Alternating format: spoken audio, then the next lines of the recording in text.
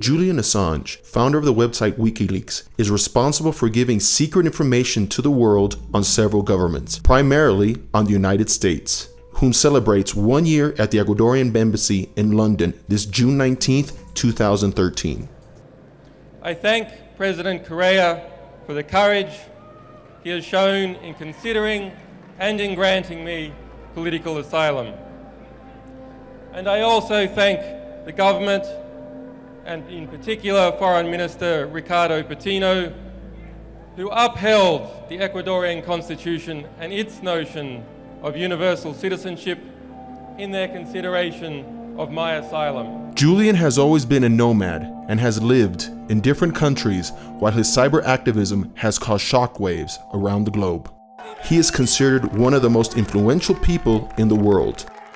Ever since his youth in Australia, this controversial character has given regionally continuous news reaching global connotations in 2010 by uploading a video called Collateral Murder, which is network information that was supplied by the soldier Bradley Manning that reveals atrocities carried out by the US Army when it invaded territories in Iraq and Afghanistan.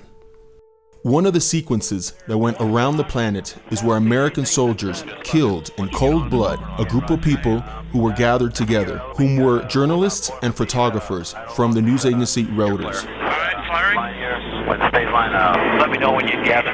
What shoot? Light them all up. traffic, 260. Come on, fire. Hey, Roger.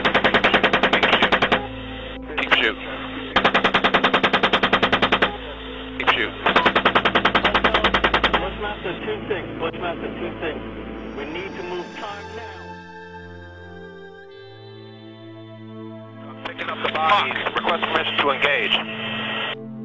In this same event, they also killed the people who tried to help the wounded without caring that there were children inside the vehicle. Come on.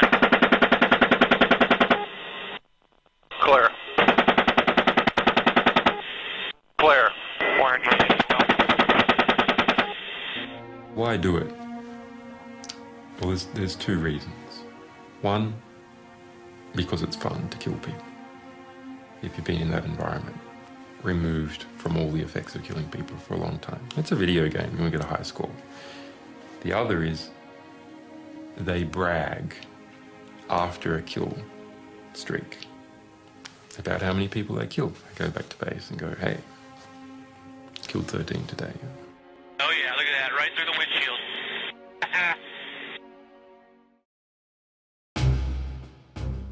This video angered the world's darkest powers, compromising Manning to a life sentence. He is a hero and an example to all of us. And one of the world's foremost political prisoners. Bradley Manning must be released. In 2010, as it was his habit of being a nomad, when he was in London parallel to these events, the Swedish authorities ordered the arrest of Assange for an alleged sexual assault while he was giving a lecture in this country, which is being taken as a political maneuver to bring Assange to Sweden where he could be extradited to the United States, to the same fate as his informant, Soldier Manning. While Assange's legal battle occurred in England between charges, one of the hundreds of thousands of emails revealed by WikiLeaks mentions Ecuador, where Heather Lange, former US ambassador in Quito, accuses President Correa of having named a corrupt officer as police commander, which was denied because this was false. And the Ecuadorian government, through the foreign ministry, decided to expel the US ambassador and declared this person non grata.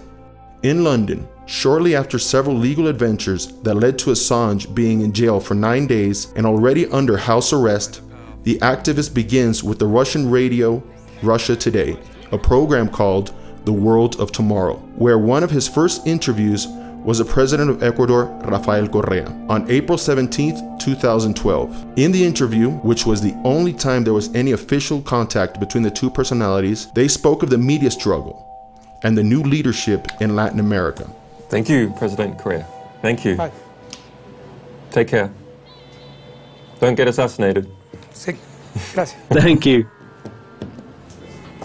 That's something we have to avoid every day. This phrase, beyond getting a smile out of the Ecuadorian president, traveled the world as a warning about the issues that were being handled through WikiLeaks and its founder, Julian Assange. Shortly after May 30th, a judge decides to extradite Assange to Sweden, and that's when he decides to seek political asylum in the Ecuadorian embassy in London on June 19th. Buenos días con todas y todos. Ajá. Desde Ecuador para todo el mundo. On August 16th, 2012, Foreign Chancellor Ricardo Patiño officially announced the granting of political asylum to Julian Assange. El gobierno del Ecuador, fiel a su tradición de proteger a quienes buscan amparo en su territorio o en los locales de sus misiones diplomáticas, ha decidido conceder asilo diplomático al ciudadano Julián Assange. As of this event, Ecuador does not seek to interfere with the Swedish judicial system, but has sought out guarantees so that there is not an ulterior extradition after responding to the Swedish judicial system. This possibility is facultated by the Swedish and United Kingdom's governments. Sadly, neither of the countries have accepted this agreement with which Ecuador has the legal obligation guaranteed by international rights and the Ecuadorian constitution not to surrender any person in these conditions. Hemos planteado la conformación de una comisión de juristas de ambas cancillerías para la búsqueda de puntos de acercamiento entre ambos países, porque creemos que es absolutamente necesario para que prevalezca la justicia en un caso de conflicto legal, que se encuentre una solución a la necesidad de que los derechos fundamentales del señor Assange sean respetados. Hay una clara diferencia entre ley y justicia, que pueden estar, por supuesto, y deben estar, generalmente están asociadas, pero en este caso hay un conflicto legal y habiendo un conflicto legal debemos de recurrir a las instancias legalmente superiores y en lo final y en lo definitivo debemos de tratar de que se imponga la justicia en este caso. Ecuador defends the right to give just treatment to Mr. Assange, and this is how it should be remembered in history. In the Ecuadorian embassy in London, real freedom of speech is at stake, the same liberty that does not have frontiers, and neither does our struggle.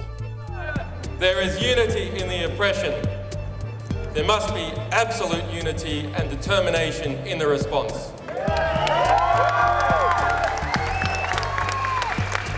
Thank you. The Ecuadorian Ministry of Foreign Affairs. Share this video.